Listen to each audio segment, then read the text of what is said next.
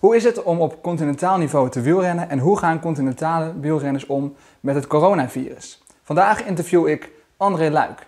Binnen enkele jaren werkte hij zich op van recreant tot semi-prof bij het wielerteam A-Blok. Ah, ik ben André, ik ben uh, 24 jaar, ik in Nijkerk. Ik uh, ben nog bezig met studie sociale geografie en planologie. En ik uh, rij sinds dit jaar bij A-Blok Continental Team. Nou, ik heb eerst gejudo'd. dat was natuurlijk echt klein was. En toen begon ik later begon ik, te zaalvoetballen. Alleen ja, daar kreeg ik op een gegeven moment ook wel wat last van mijn knie en zo. En toen ben ik eigenlijk via mijn broer bij het fietsen gekomen pas. Maar het eerste jaar heb ik gewoon uh, zelf een beetje gefietst. En zijn we wel op vakantie geweest waar ik de fiets aan heb meegenomen. Maar merkte je dat je, merkte je, dat je goed was? Of, uh, of, of had je ja. op dat moment helemaal niet, niet zo door? Nou, op zich wel. Tenminste, ik, dat zei mijn broer ook altijd. Die, die was zeg maar bij, bij zijn club zeg maar, was hij niet, uh, niet slecht of zo. Reed hij best wel leuk mee. Maar ik reed me dan zeg maar wel gelijk af op de, op de Amerongse berg of zo. Dus dat, dat zat er eigenlijk gelijk al wel, dat explosieve en zo, dat zat er al wel in.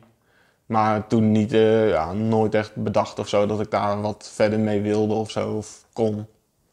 En hoe kom je dan uiteindelijk bij dat je uh, een wielerwedstrijd wil, wil rijden? Was het gewoon het competitief? Heb je een keer wat uitgeprobeerd? Ja, na dat jaar erop begon ik bij uh, de club hier in Nijkerk, bij de Voek. En ja, dat groepje 1 dat rijdt altijd al wel aardig door. Dus zeker in zo'n uh, in zo'n polderrondje of zo, waar je gewoon uh, vier keer links 60 kilometer hebt, zeg maar. Daar, daar wordt dan ook al wel gewoon nou, 40 gereden of zo gemiddeld.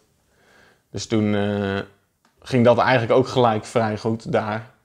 Maar toen bedacht ik wel van, nou, dat jaar ging het ook weer beter dan het jaar ervoor. Dus ik dacht, het lijkt me wel leuk om volgend jaar dan te proberen om Moest dat wedstrijdje te pakken. over je tweede jaar ja, ja. Dus de derde jaar ben je begonnen dan uh, bij Eemland dan? Ja, ja, dat was bij Eemland als amateur. Dus ik dacht van ja, ik stap daar gewoon in. Bij de amateurs en... Uh, Volgens mij mis, mis ik nog wel iets. Je hebt helemaal geen wedstrijdje gedaan voor, voordat je amateur werd? Nee, nee. Ik heb eigenlijk gewoon... nou, ik, ik heb één... Uh, ja, zo'n funklasse wedstrijd in, in Ermelo was dat. Ja, die, eh, die won ik gelijk. Dus. Oh ja, dan, dan is het wel, uh, wel duidelijk ja. dat is. Ja, dus toen ben ik inderdaad gewoon gelijk in de winter gewoon die, uh, zo'n zo'n licentie aangevraagd. Ik begon eigenlijk gelijk wel vrij goed, tenminste. Dat waren al gelijk de wat grotere wedstrijden waar ik mee begon in het voorjaar. En gelijk met waaiers en zo. Dus ik dacht van, waar ben ik in balans, zeg maar. Maar dat, dat ging eigenlijk al wel vrij goed dat ik gewoon in de eerste groep zeg maar aankwam. En de rest van het jaar, ja, ik sloot hem af met de winst in Rotterdam. En omdat het zeg maar gelijk wel goed ging en, uh, en ik ook wel ja, die, die grotere wedstrijden leuk vond. En ik dus dat laatste wedstrijdje won, toen dacht ik van, ja, mag ik van mezelf nu wel naar de elite. Je hebt het over het vierde jaar dat je wielrent en het tweede jaar dat je wedstrijd ja, ja, ja. Dat is uh, Bij 2018, ja. ja. Eerste jaar elite. Eerste jaar, ja, dat, dat ging eigenlijk ook gelijk wel vrij goed. Tenminste, denk wel in ieder geval een handvol top 10 plekken, zeg maar. Waarvan er een paar in de klassiek is. Maar niet echt, zeg maar, echt voor de overwinning reed ik toen nooit echt mee eigenlijk. Het is het verschil tussen een keer zesde worden omdat je goed, goede positie hebt, zeg maar. En dan... Uh, redelijk mee kan sprinten of echt winnen of het podium. Dat is ook nog wel echt toch wel een heel groot verschil. Toen ging je die winter in en toen ben je begonnen met werken met een personal trainer. Ja, ik, ik had toen in dat eerste jaar ook al uh, via de ploeg iemand zeg maar, die een beetje het in de gaten hield en zo. Maar veel meer dan dat was het ook niet. En uh, ik denk dat ik daar in juni of zo ook mee gestopt was. En toen ben ik eigenlijk ook een ploeggenoot die werkt ook bij dat cycling lab waar ik ook uh, toen ben terechtgekomen, zeg maar. En toen dacht ik van ja, het ging op zich wel lekker dit jaar. Dus er moet misschien nog wel wat meer in zitten. Dus dan wil ik er ook wel voor gaan. Het was gewoon vooral echt van gewoon random trainen en rondjes rijden, zeg maar. En ja, dat is veranderd naar gewoon echt gericht trainen met een doel en met een idee erachter. Uh, dan wil ik even een, uh, een ja, een grote, nou, grote stap nemen. Na, na 18 mei 2019. Ja, dat is niet een hele grote stap, maar ik denk, ik denk dat je doelt op de Zuid-Hollandse eilanden toe. Ja, daar doe ik op, ja. Dat jaar dat begon ik zeg maar, met wat vrije klassiekers waar ook uh, zeg maar, renners met, van een hoger niveau meedoen. En daar reed ik dus de hele tijd wel goed, maar niet per se uitslag of zo. Dus dan zat ik er elke keer gewoon goed bij. En toen dacht ik wel na die eerste paar wedstrijden van oké, in de clubcompetitie met alleen maar clubrenners. Daar moet ik nu wel gaan knallen en ik heb wel het idee dat dat wel gaat lukken. En toen in de Zuiderzeeronde was het inderdaad een tweede plek. Maar toen pakte ik dus de wedstrijd erop uh, wel redelijk mijn revanche. Uh, je wint dan dat jaar drie keer. Ja. Wat is dan het mooiste? Ja, die Zuid-Hollandse eilandentour is sowieso het grootst. Dus die, dan zou je denken qua koers, want dat was de klassieke die ik dan won, het mooist. Maar Wageningen is toch ook wel... Daar waren ook wel redelijk wat uh, mensen uit, uh, uit Nijkerk die kwamen kijken. En een vriend uit uh, Wageningen die daar was en zo. Dus ik had daar wel wat support meegenomen voor langs de lijn, zeg maar. Dus dat was ook extra mooi. En daar voelde ik me gewoon in de koers heel goed. En dat was bij die Zuid-Hollandse eilanden toen niet eens per se het geval.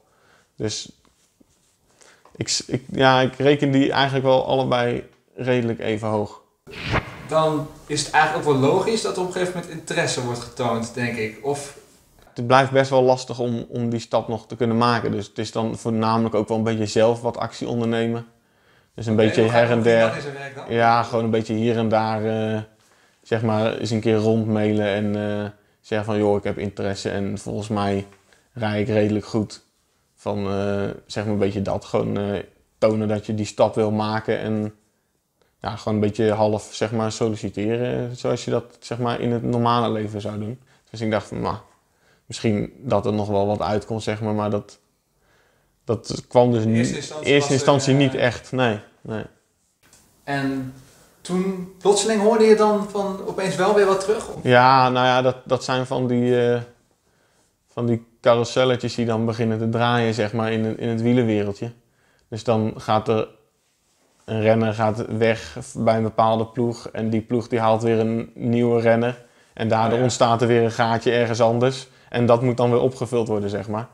En toen uh, kwam eigenlijk ook via mijn trainer, die dan zeg maar de ploegleider goed kent, de ploegmanager, kwamen ze dan toch weer bij mij. Je ziet natuurlijk heel veel op tv en uh, in de kranten lees je van uh, pro-continentale teams of pro-tour tegenwoordig volgens mij. Ja. En world tour teams.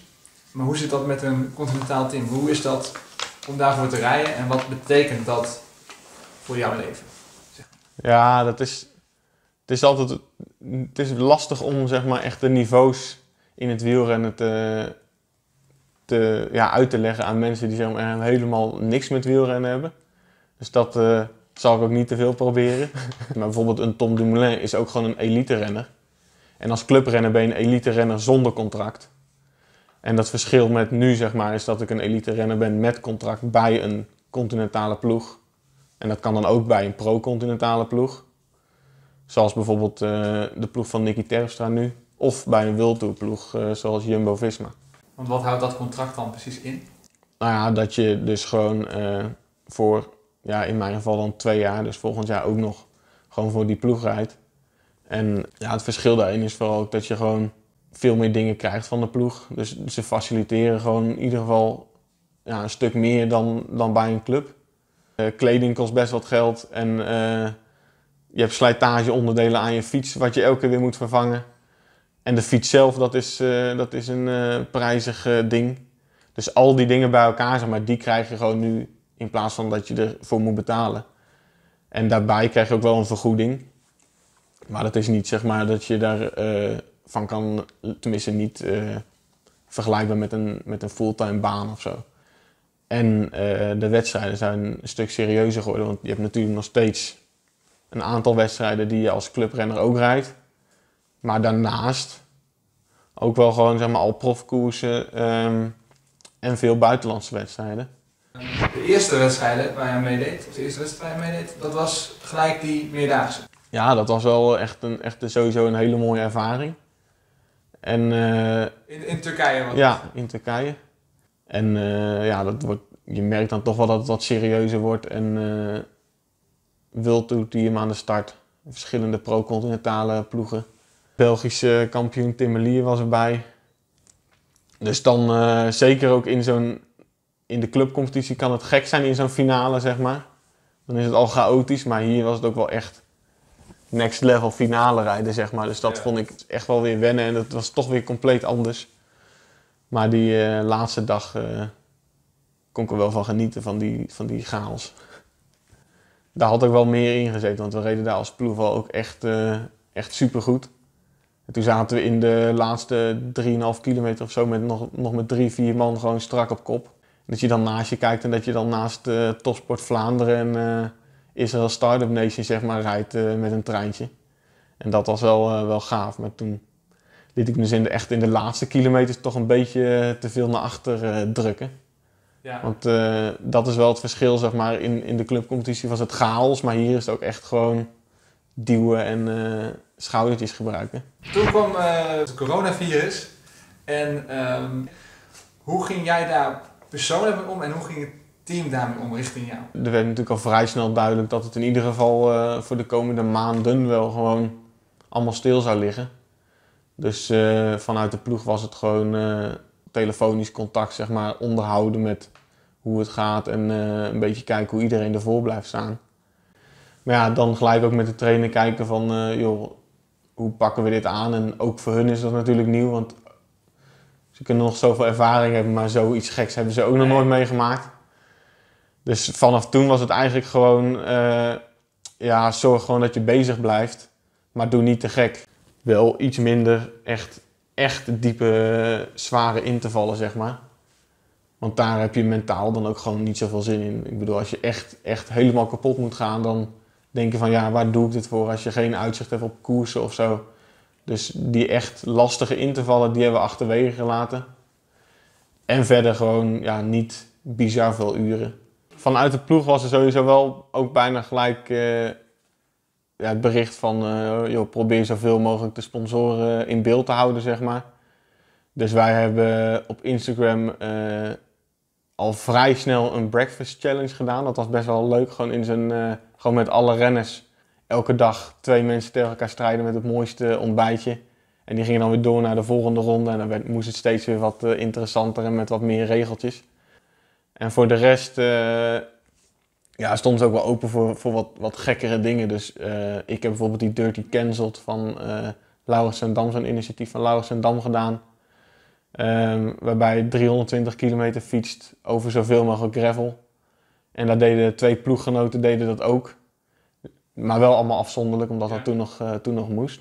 welke wedstrijden hoop je nog te kunnen rijden voor in ieder geval in, die, in de continentale sfeer? Ja, ik zou nu vooral gewoon graag. Het idee was om in die buitenlandse koersen juist te gaan kijken hoe ik dat zou doen. En dat leek me wel een leuke uitdaging. Dat het niet alleen maar vlak is, maar ook nog wel eens zeg maar Spaans vlak of zo ja, bijvoorbeeld. Ja, ja. Dat, je, dat je dan nog zeg maar een uh, finale kan rijden als het wat heuvelachtig is. Ik bedoel, uh, dat leek me wel een leuke uitdaging. Dus ik denk dat dat ook voor de rest van het seizoen en voor volgend seizoen uh, ja, wel mijn, mijn doelen worden om, om goed te rijden ook in het buitenland en uh, ja, gewoon vooral mooie koersen te rijden. Uh, in ieder geval dankjewel voor je tijd. Ja, uh, als de mensen op YouTube nog vragen hebben, stel ze dan in de reacties onder de video, dan stuur ik ze door als dat mag. Ja, tuurlijk. Geen probleem. en vergeet natuurlijk niet te abonneren, want dan mis je geen enkele video. En onthoud, altijd blijven fietsen. Goed, goed slot.